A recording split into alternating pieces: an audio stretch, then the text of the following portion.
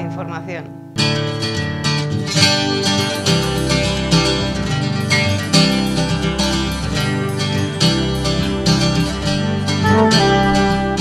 La causa del periodo especial, causa fundamental, fue el derrumbe del campo socialista.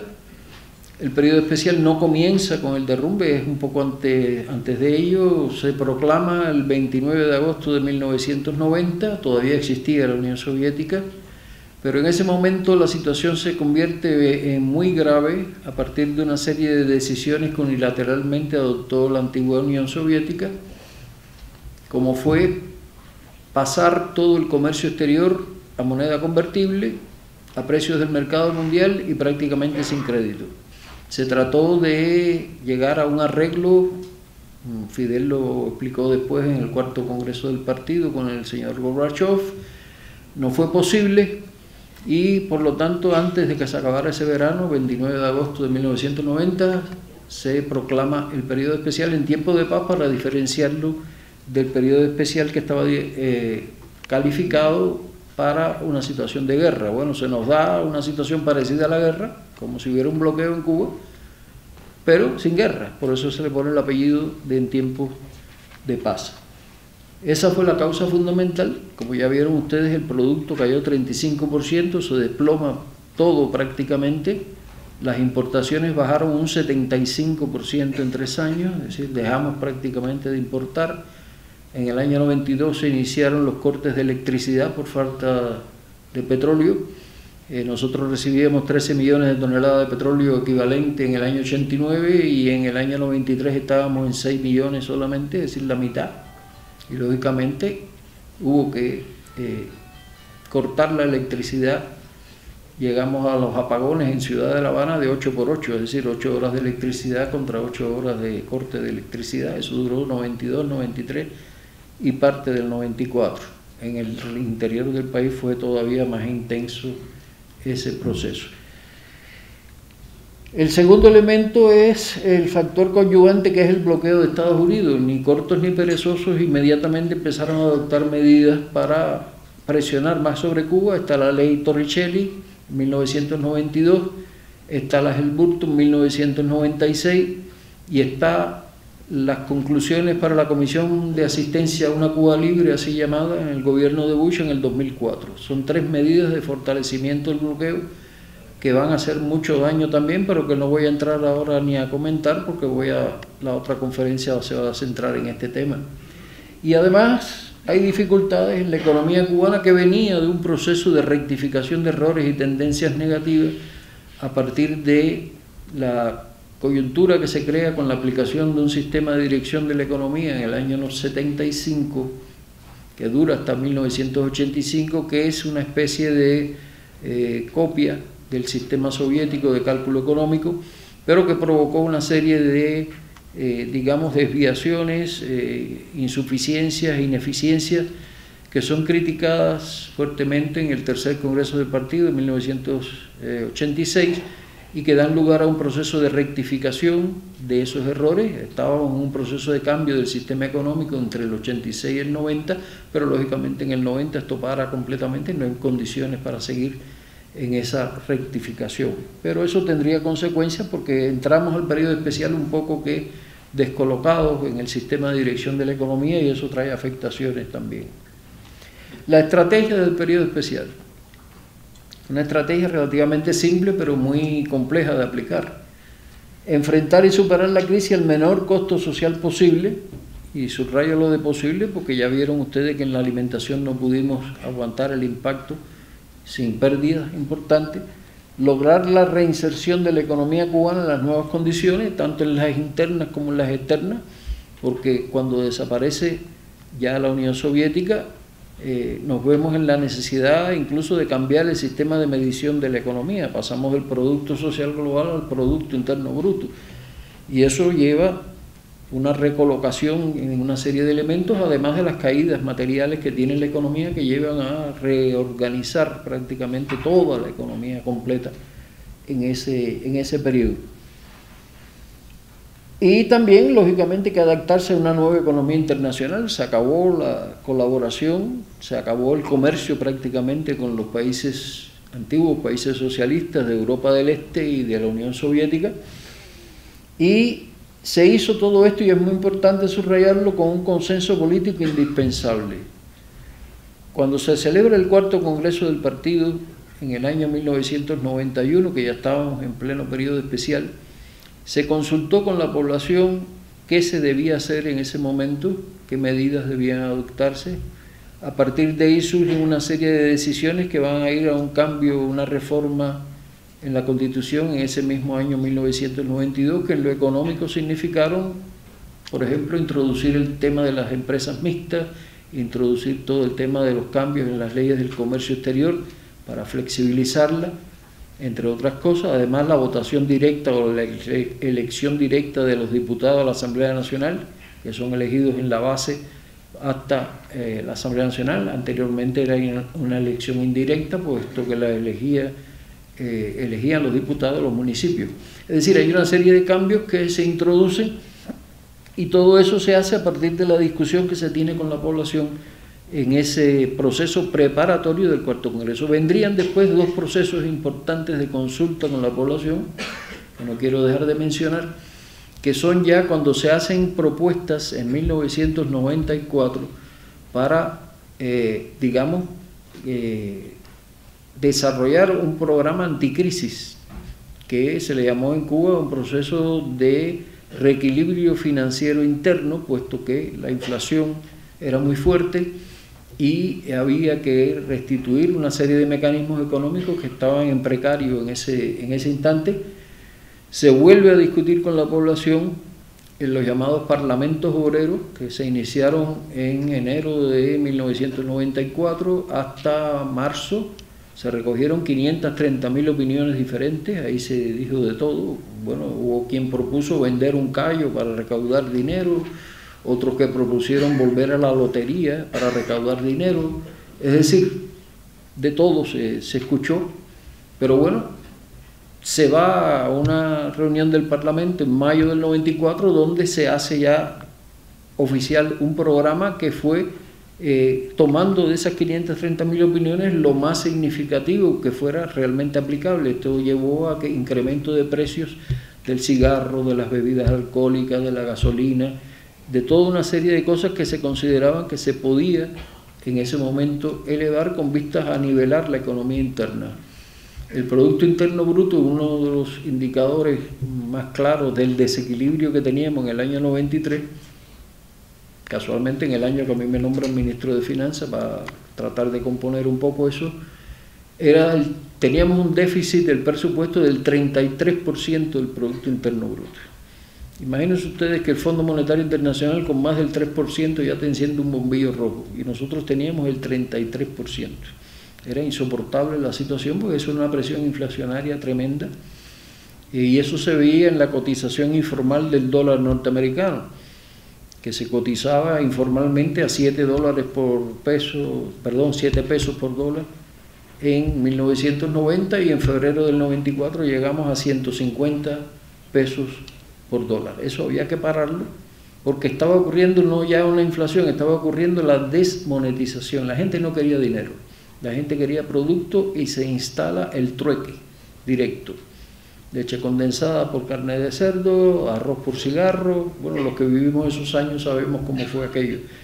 Y eso es una situación gravísima porque de ahí a un desastre de la economía total e irreversible no había más que un paso y eso había que frenarlo, por eso se aprueban esas medidas en mayo del 94 y empieza la recuperación muy ligeramente, pero recuperación al fin en ese año 94, que es cuando empieza a ascender la curva y no se va a empatar nuevamente la cifra del 89 hasta el año 2004. Los ritmos de crecimiento durante estos años, aquí se los resumí, del 59 al 2009, los primeros 50 años, la economía crece 3,3%. Ah, recién hicimos un análisis comparativo con América Latina y no estamos muy lejos de lo que creció la región, así que no hay nada de que sonrojarse, porque en medio del bloqueo Cuba crece en una cifra aceptable. Sí, con muy baja productividad, como ustedes ven aquí, ritmo de crecimiento fue muy bajo. Las inversiones llegaron en esos años a 118 mil millones de pesos, con un crecimiento relativamente importante, casi un 6% anual. Y aquí se ve el cambio de estructura. Bueno, se ve no, se ve un pedazo del cambio de estructura, pero bueno. Sector primario pasó del 22 al 5%, la industria, construcciones, 29 al 14%, ¿Y qué crece mucho? El sector de los servicios, sector terciario de 40% se encarama en el 81% en el 2009. Este es el crecimiento del turismo primero y el crecimiento de la exportación de fuerza de trabajo calificada a partir del año 2004.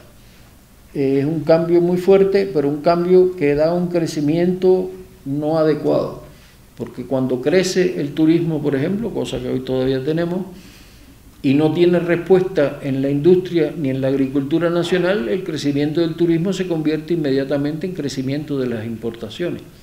Por lo tanto, esto es una situación que aunque crezca la economía en su conjunto, no debe seguir así. Y en ese paso andamos precisamente ahora, tratar de reequilibrar el cambio de los sectores para que cuando haya un crecimiento más en los servicios no se produzca sin industria o no se produzca sin agricultura suficiente. Esto llevó en estos años, desde el 90 hasta el 2009, a cambios en las relaciones de propiedad. Aquí reaparece el trabajo por cuenta propia.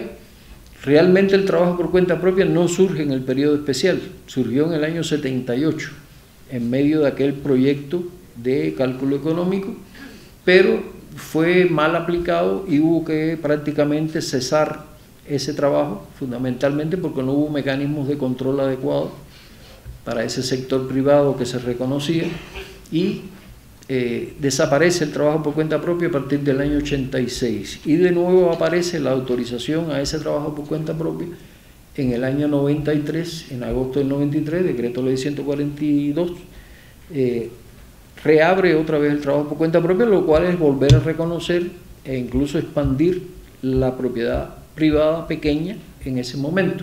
Y hay un cambio en la propiedad cooperativa, se crean las unidades básicas de producción cooperativa, las famosas VPC, en el año 93 también, y eh, creo que es el decreto 141, eh, bueno, 141 y 142 son los dos decretos más importantes, uno es el trabajo por cuenta propia, el otro es de la VPC, que es el cambio en las relaciones de propiedad eh, más fuerte que hay en este, en este periodo, dictado por la necesidad de ver con qué fuerzas podemos expandir lo que anteriormente hacía solamente el Estado.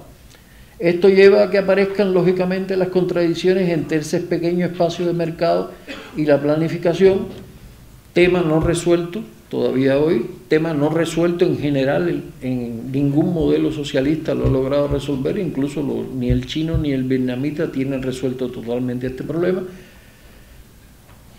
Los grados de interdependencia relativa o de independencia relativa entre base y superestructura se va a ampliar en este momento a partir de no parar el desarrollo social. La lectura dogmática de estas relaciones diría que primero tenía que haber base económica para desarrollar servicios y la revolución actuando políticamente no hizo eso, no frenó los servicios, no se frenó la salud pública, no se frenó la educación, aún contando con financiamiento que era exterior, es decir, hay deuda en ese sentido, pero se salvó lo que era una conquista fundamental para el poder político mantenerlo, no se podía suicidar tranquilamente el país diciendo, bueno, vamos a esperar a crecer y después volvemos a la salud pública. Eso no se hizo y fue uno de los factores de resistencia que dieron posibilidades de avanzar en el periodo especial. La secuencia de los cambios, como decía, los factores económicos y los políticos y sociales siempre llevaron en todos estos años a que lo político y lo social prevaleciera porque es la base de la construcción socialista y eso no se perdió en el periodo especial. Y eso llevó a que la participación de la población en todas las transformaciones, como ya les mencioné, por ejemplo, dos procesos básicos de discusión masiva, se hiciera con, éxito en estos años y bueno, la votación a favor del socialismo que se mide en las elecciones con los diputados eh, que son apoyados eh, por la población eh, alcanzó un 93% en el año 93 precisamente. Es decir, un gran apoyo, mucho mayor que entre las elecciones anteriores, se logra gracias a esto. La gente se sentía copartícipe de las decisiones muy directamente. La recuperación se empieza a lograr, como les decía, en el 94, el PIB reaparece en el mismo nivel, se estabiliza las finanzas internas el presupuesto volvió a tener un déficit razonable entre 3 y 4% a partir del año 95. Eh, baja la liquidez, el exceso de dinero en manos de la población que no tenía poder de compra se reduce. Llegamos a tener un 66% de dinero en manos de la población contra el producto y eso tiene que estar en el 30% y eso se logró ya en el 95, 96, bajarlo hasta 30, 35%. Hay una recuperación nutricional a partir del año 97, que ya también mencioné las consecuencias de no haber logrado esto. Se aumenta la eficiencia energética y de las inversiones en estos años. Eh, hay una gran concentración en determinados objetivos y eso lógicamente hizo que los pocos recursos que había rindieran un poco más.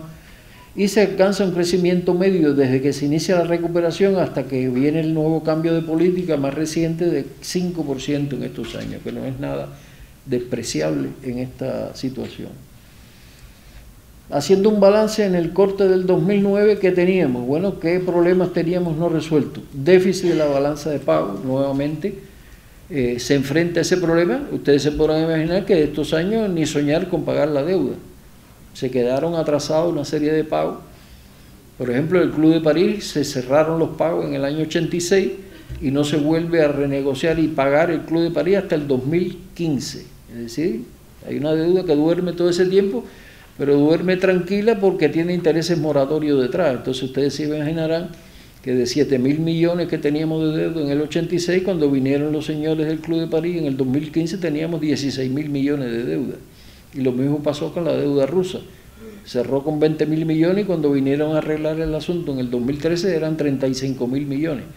Es decir, que esa situación no se podía extender en el tiempo. Y vamos a referirnos después a qué se ha hecho para salir de ese bache, pero en este momento lo que teníamos en el 2009 era un déficit muy fuerte, con deuda impagada, bajo nivel de productividad. Claro, si no había fuertes invenciones no podía crecer mucho.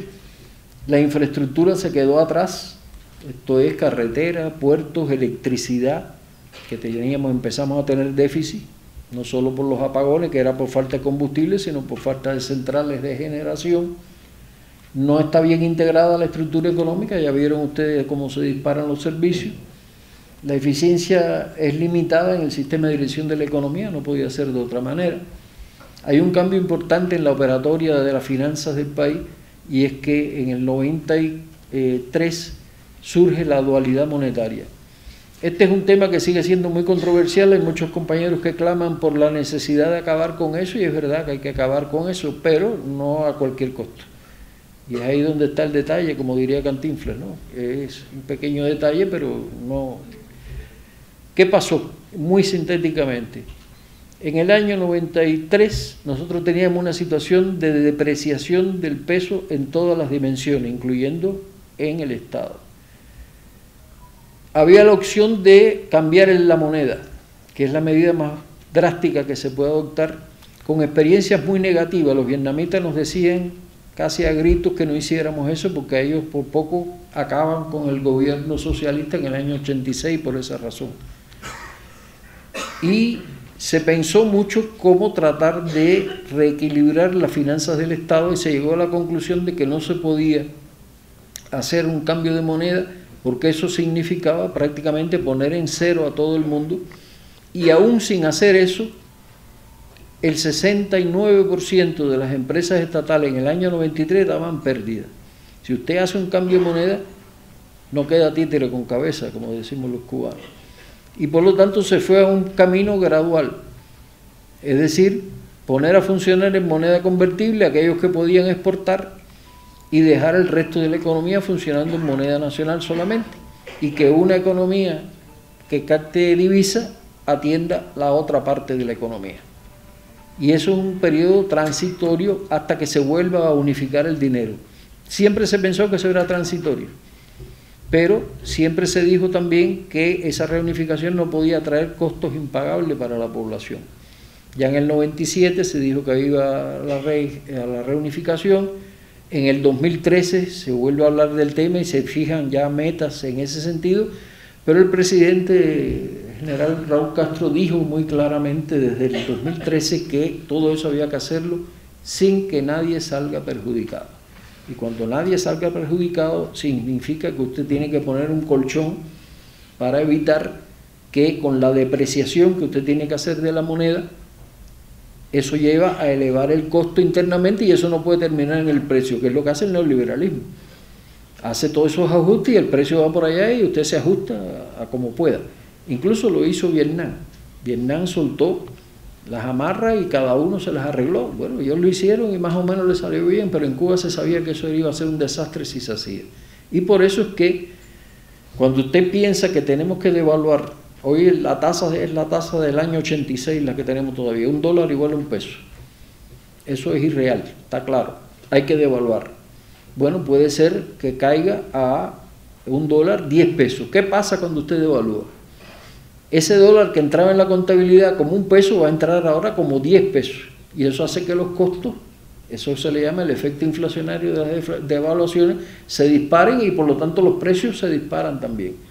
Y eso es lo que no se quiere que ocurra. Por lo tanto, usted tiene que ponerle un colchón en el medio a ese costo elevado, subsidiar para que el precio no suba en la misma proporción. Y eso, compañero, lleva miles de millones de pesos de costo. No es cualquier cosa. Entonces, eso es lo que nos ha pasado. No ha aparecido el dinero necesario y por lo tanto ha habido que posponer ese proceso. Porque al final no se puede decir, bueno, vamos a hay algunos compañeros que son muy drásticos y dicen, bueno, hay que pagar ese costo y lo que sea. No, no, no, no es posible. Políticamente eso es inviable por completo. Y bueno, estamos arrastrando el problema de la dualidad monetaria.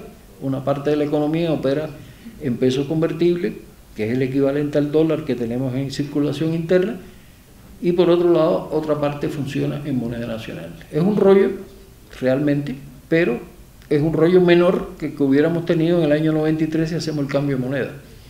Y eso, bueno, fue una bronca bastante seria con un grupo de compañeros que pensaban que había que arrancar quitando todo y empezando de cero. Y bueno, por suerte Fidel, con su sabiduría proverbial, dijo en la asamblea de mayo del 94 que el cambio de moneda no se desechaba pero que había que ver si las medidas que estábamos proponiendo daban resultados. Bueno, empezaron a dar resultados y se desechó el cambio de moneda, por suerte, no tuvimos que aplicarlo.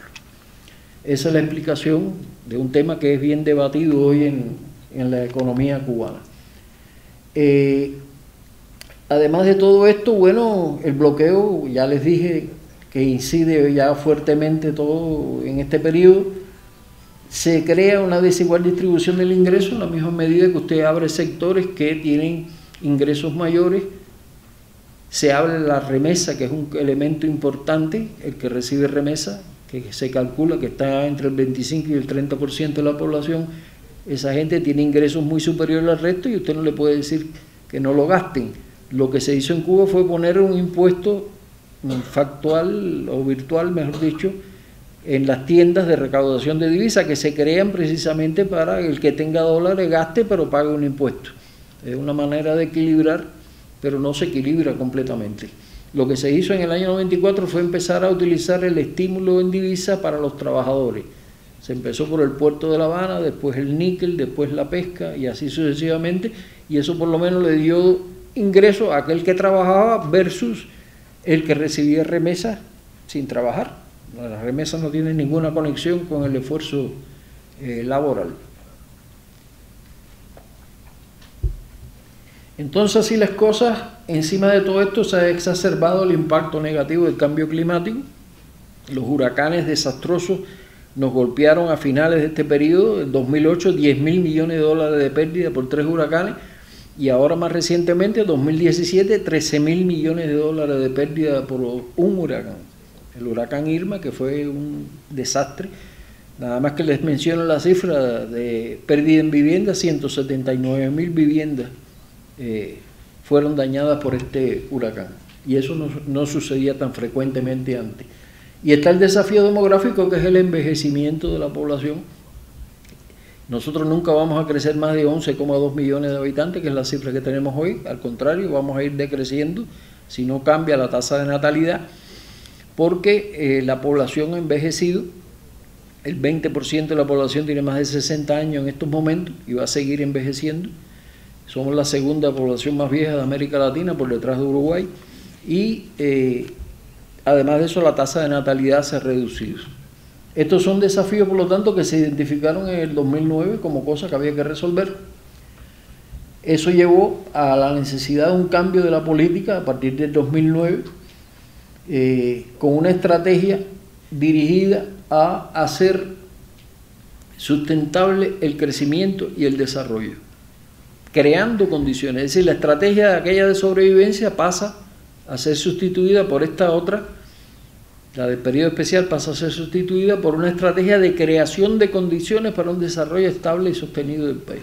Y subrayo lo de creación de condiciones porque es un proceso largo, no es un proceso que se hace en dos días, ni cosa por el estilo, aunque quisiéramos que fuera más rápido, pero no es posible. Y en eso estamos, precisamente a partir del 2009, esto llevó mucha discusión al interior del gobierno y se llegó a una determinada conclusión eh, se nos está dando o se nos estaba dando en ese momento crisis de liquidez periódicamente, bajos niveles de productividad de inversión y deformaciones en la estructura.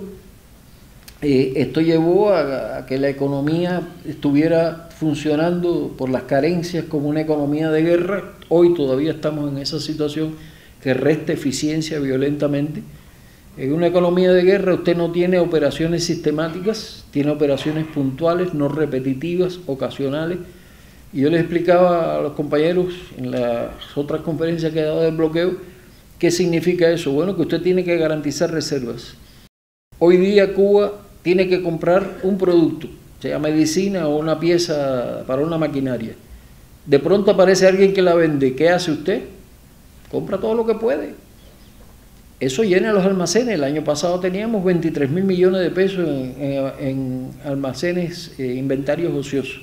Pero tomar la otra decisión, no comprar todo lo que puedas, hace que cuando vuelvas el año que viene te dicen, no, esto lo compraron los americanos y ya, no te podemos vender ni un tornillo más. Después puedo ampliarle lo que nos ha costado esto, no haber tenido en cuenta esa situación. Por lo tanto, estamos funcionando como una economía de guerra, simplemente, de resistencia en ese sentido. Y hay que ir a soluciones eh, estratégicas, trascendiendo de las soluciones puntuales. Y esto, lógicamente, llevó a un análisis de Fidel sobre los factores internos, que es un planteamiento muy fuerte que él hizo en noviembre del 2005, cuando dijo que el imperialismo no nos podía derrotar, pero que si nosotros cometíamos errores, sí podíamos destruir la revolución. Hizo un llamado importante y muy fuerte en ese momento. Él se enfermaría ya en el 2006, ya no tendría esta, esta posición. Eh, la coyuntura económica, por lo tanto, llevó a una reforma. Se le llama actualización porque el término reformismo, y ustedes lo saben, se identifica un poco con cosas de socialdemocracia, etcétera, y no se quería que Cuba tuviera esa identidad. Y se habló de actualizar el socialismo. Por eso, una reforma económica que puede identificarse lo que se ha hecho como eso, como una reforma económica, no se le quiso poner ese nombre para que no se les identificara como reformistas. Y reformistas y socialdemócratas, bueno, se emparentan mucho. Esa es más o menos la explicación. El financiamiento externo es el punto de estrangulamiento de la economía, se identificó eso, y la secuencia elemental de los cambios en Cuba es la siguiente, para que ustedes vean el caminito que hemos tenido que transitar. Primero hay que salir del pago de la deuda vencida que no se ha pagado. Y eso se llevó a cabo en estos años. Vamos a ver cómo. Apertura a la inversión extranjera ante la insuficiente capacidad de ahorro interno. Esta es prerequisito para esta otra. Si usted no paga lo que debe, imposible que alguien le pida que debiéndole dinero venga a invertir. Eso no se le ocurre a nadie. Bueno, tenemos que, que pensar en esa manera. Y la inversión extranjera es necesaria porque Cuba no tiene capacidad de acumulación para el volumen de inversiones que requiere. Por lo tanto, tiene que venir del exterior. Que eso no es nuevo. El capitalismo cuando triunfó en el siglo XV tuvo una acumulación originaria que Marx describe perfectamente y fueron las colonias las que financiaron todo eso. Es decir, el financiamiento externo de esa época fue el saqueo colonial. Por lo tanto, se da la situación de que nosotros ni vamos a saquear a nadie, pero tenemos que contar con alguien que venga a invertir y compartir ganancias con él. Ese es el principio. El crecimiento de la tasa de inversión a partir de la reducción del subempleo estatal que se ha hecho para incrementar productividad y todo eso debe conducir a la posibilidad de incrementar el nivel de vida de la población, sin que esto sea una relación mecánica. Ese es eh, lo que yo le llamo la secuencia esencial del despegue de la economía actual. Esto tuvo resultados eh, frente a los desequilibrios acumulados. Las soluciones a corto plazo se definieron en los lineamientos del 2011, que son de política económica y social. Eh, se produjo eh, un reequilibrio de la balanza de pago. Teníamos una deuda vencida del 27%, prácticamente eso desaparece entre 2012 y 2017 se eliminan los obstáculos o se eliminan una parte de los obstáculos a la productividad del trabajo y se empieza a modernizar o a, poner al día la infraestructura necesaria. Bueno, las grandes obras infraestructurales de estos años, entre otras, son eh, la Zona Especial de Desarrollo en Mariel y el Puerto del Mariel, el trasvase este-oeste de agua desde el, macizo eh, montañoso de Oriente hacia Occidente para garantizar agua para el turismo y agua para la agricultura, entre otras cosas. Estamos ahora enfrascados en la modernización de los ferrocarriles, que es una inversión muy gruesa también, más de 2 mil millones de dólares en los próximos siete años. Y por lo tanto hay un conjunto de soluciones de mediano y otras de largo plazo que hay que, que enfocar. Esto se discutió masivamente en el 2011, igualmente con la población. ¿Qué se logró? No se cumplieron todos los objetivos de las políticas que se dirigieron en el 2012. Esto se explicó recientemente en el Congreso de la CTC. Hubo 18 políticas muy importantes que no tuvieron el éxito esperado. No es que no tuvieran éxito, pero que no cumplieron el objetivo. Una de ellas fue la política con el sector privado o trabajadores por cuenta propia, porque ha estado muy inestable esas decisiones. La inversión extranjera no se calificó bien tampoco en esta etapa. En general las inversiones, la eficiencia de las inversiones tampoco. Es decir, si usted coge las 18 políticas esas, se da cuenta de las dificultades fundamentales que hemos tenido en estos años, que la explicó Marino Murillo, el encargado del programa económico de cambio en el Congreso de la CTC.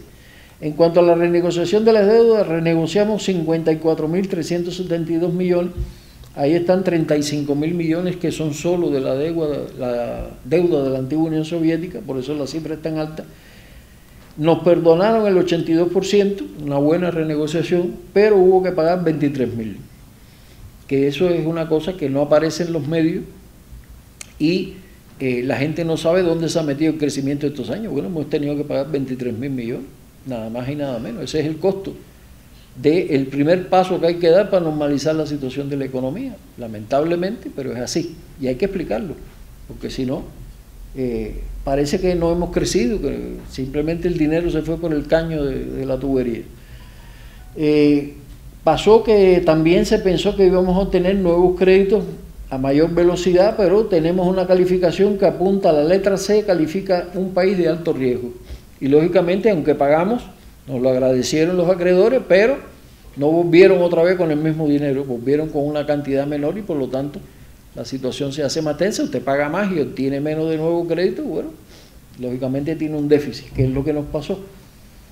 Eh, cayeron los ingresos y hay una deuda pendiente que es la deuda del llamado Club de Londres, que es una deuda comercial que está pendiente de ventilar, no la hemos ventilado todavía, es lo único que queda de las grandes deudas de estos años. Se logró limpiar la mesa en ese sentido. La productividad se incrementa poco, aunque más que en el periodo anterior, 2,3 se redujo el subempleo estatal en más de un millón de trabajadores, es decir, gente que no cumplía las ocho horas de trabajo, bueno, fueron buscando reacomodo, se fueron consolidando empresas, etcétera, etcétera.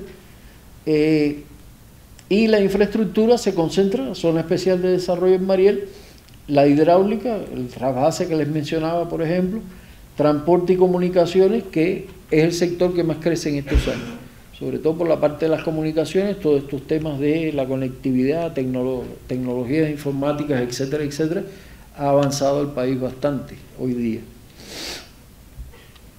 Aquí tienen cómo creció el país hasta el 2016, el plan era 4.4, tuvimos 2.3, La agricultura crece poco, esto es una cuenta pendiente que tenemos, la puse en rojo ahí, y hay crecimientos más o menos normales en un grupo de sectores. Crece poco los precios, vean ustedes, 2%, el salario real subió 4% y la productividad del trabajo 2,5%. Es un resultado, digamos, aceptable dadas las circunstancias, pero no el que pretendíamos en los planes, porque el plan era crecer mucho más. Aquí está eso mismo en un gráfico. Aquí tenemos el crecimiento del 2008, que fue 4 y un poquito, cae con la crisis del 2008 en la economía mundial, se remonta nuevamente al 2012 a un 3% y vuelve otra vez a caer hasta 0,5 eh, en, en, es decir, un 1%, perdón, en este año. Viene un rebote, esto tiene que ver con la creación de condiciones excepcionales que se producen por el acercamiento entre Cuba y Estados Unidos, que tiene un efecto de demostración muy positivo, no con Estados Unidos, sino con el resto del mundo. Ahí tuvimos visitas de primeros ministros que nunca jamás habían pasado por Cuba, desde François Hollande de Francia hasta Shinzo Abe de Japón. ¿Por qué? Porque se abría una perspectiva de negocios con Cuba en la medida que se restablecían relaciones diplomáticas. El gobierno de Obama decía que el, embargo, como le dicen ellos, no había dado resultados. Y eso, lógicamente, creó una expectativa muy buena que se traduce en esto. Vean ustedes que el crecimiento se disparó en el 2015 a 4.4. Aquí vuelve a caer la situación porque tenemos dificultades con Venezuela. Con el suministro de combustible crecimos un poco, 0.5 y eso se empieza a recuperar otra vez en los años más recientes hasta crecimientos en torno a cerca entre 1 y 2% que son los que hemos tenido en los últimos años. Es decir, la situación sigue siendo muy desequilibrada en los últimos años. Aquí está la exportación de servicios que ha crecido enormemente, esta es la exportación eh, del de, eh, turismo en la línea en azul y la exportación de fuerza de trabajo calificada que empieza con Venezuela en el 2004, vean ustedes cómo se ha disparado. Es decir, es uno de los ingresos más importantes que tenemos en, esto, en estos momentos. Partiendo de no cobrar todo el servicio externo que brindamos, sino cobrar aquel que pueda pagarlo, que es, otra situación muy peculiar en el caso, en caso de Cuba, pero bueno, dado ingresos importantes en este sentido. Eh, llegamos al 2016 y es necesario revisar los lineamientos. En ese momento se pasa a revista los del 2011 y se encuentra que habíamos cumplido el 21%. En proceso estaba el 77 incumplido 2. Esto tiene que ver con los 18 que no se cumplieron, evidentemente. Se aprueban nuevos documentos, la conceptualización del modelo, que es toda la formulación teórica de cómo debemos desarrollar, nuevos lineamientos actualizados hasta el 2021, que tienen cosas muy importantes también, y el proyecto de Plan Nacional de Desarrollo Económico y Social hasta el 2030 que hubo que reformularlo y está todavía en reformulación porque lo que ha ocurrido en el mundo no nos permite proyectarnos a largo plazo. Ahora ese plan hasta el 2030 tiene tres partes, 19-21, 22-26 y 27-30, porque es imposible hacer una proyección a tan largo plazo eh, en estos momentos y por lo tanto el plan se va a hacer de esa manera. Estamos en la primera etapa de ahora. Y se aprueba una nueva constitución que fue un proceso muy exitoso de consulta popular, como se explicó ayer por, por Ubieta, eh, que realmente convirtió a la, población cubana en una asamblea constituyente y se aprueba con un 86% de votos favorables de la población.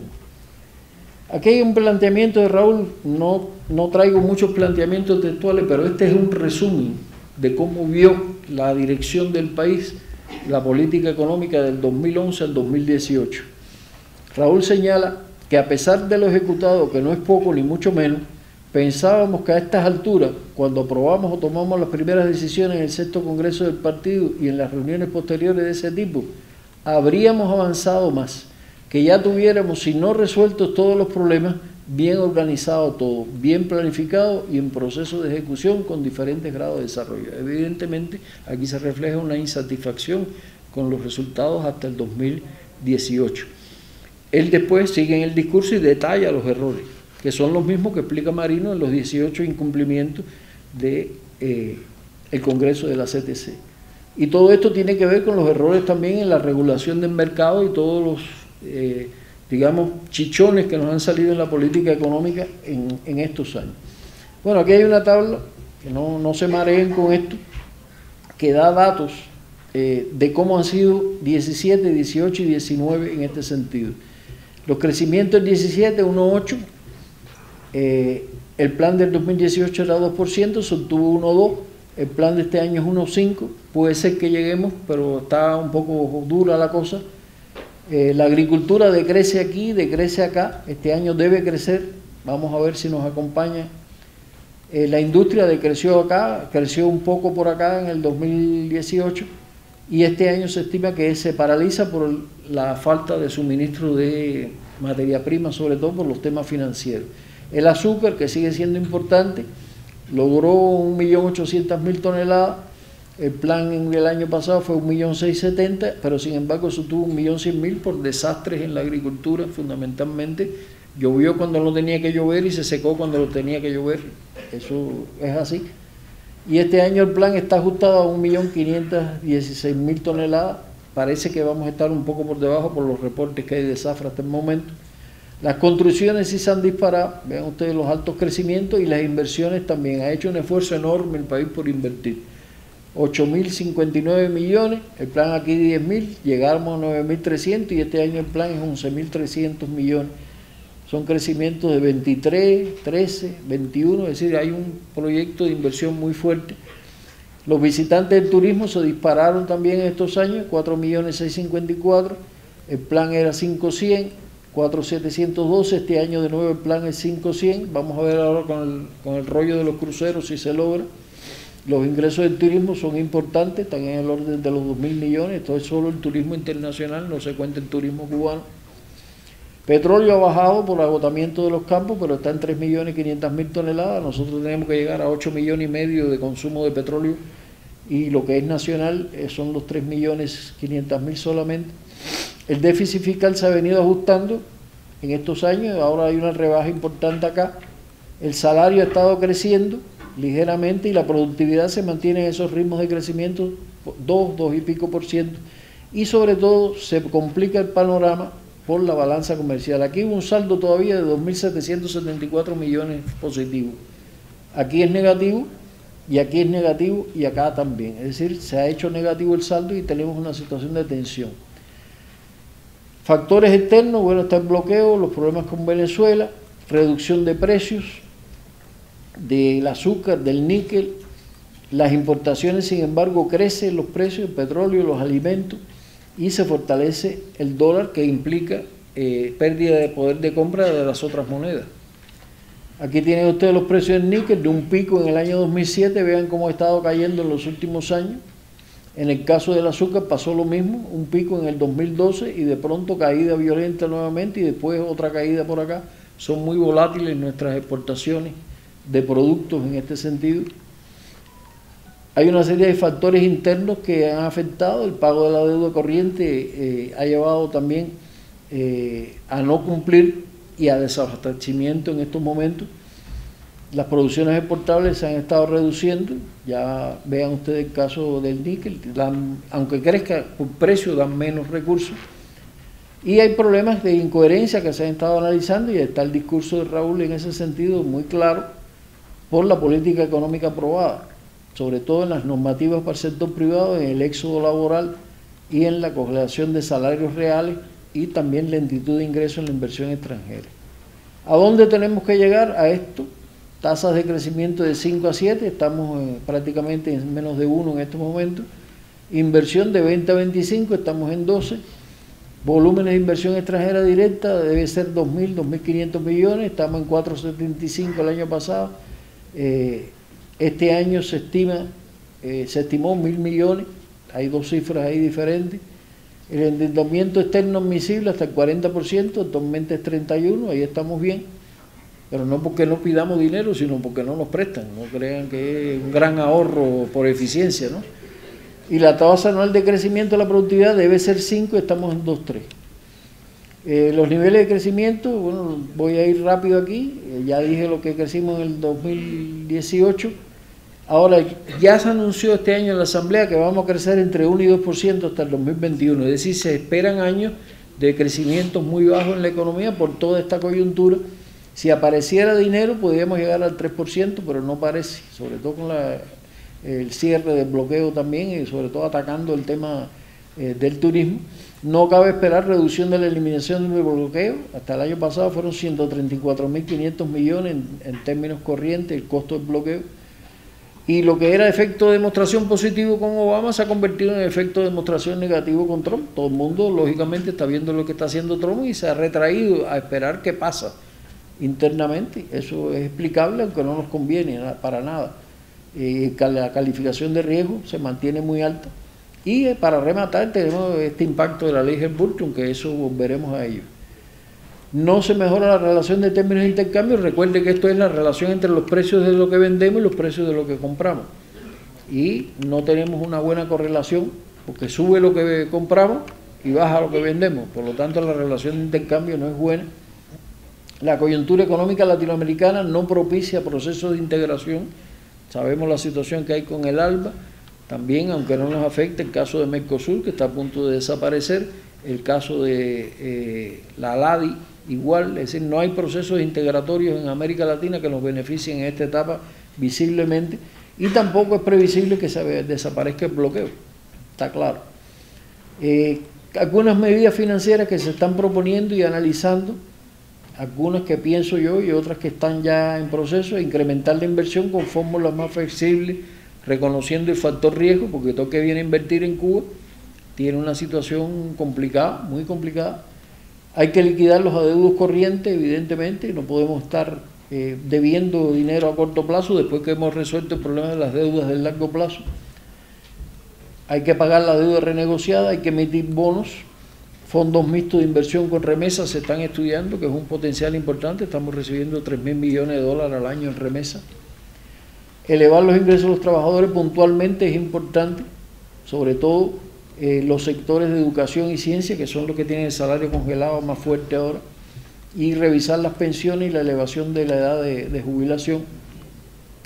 Incrementar el estímulo laboral no salarial es una de las medidas que se puede aplicar y mejorar la calidad de la, de la participación de los trabajadores en la planificación.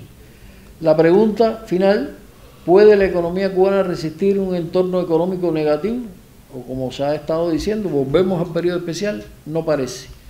Tenemos mejores condiciones en relación al inicio de los 90, mayores ingresos externos, hay inversión extranjera y exportación de servicios que no había en ese momento, hay diversificación de las relaciones económicas externas eh, en este sentido y menor dependencia de la importación energética porque producimos más petróleo y más fuerza de trabajo calificada cosas más complicadas que en el periodo especial, mayor desigualdad, lamentablemente ha subido, mayor presión del bloqueo, efecto negativo acumulado del periodo especial de cosas no resueltas y una coyuntura internacional mucho más complicada.